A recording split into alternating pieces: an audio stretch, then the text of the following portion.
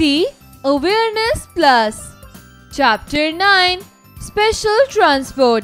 We frequently travel in our daily lives using a variety of modes of transportation.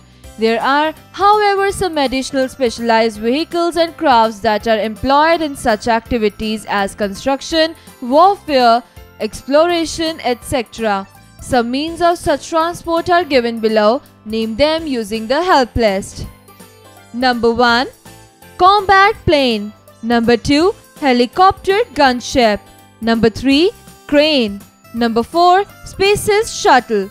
Number 5. Water scooter. Number 6. Hot air balloon.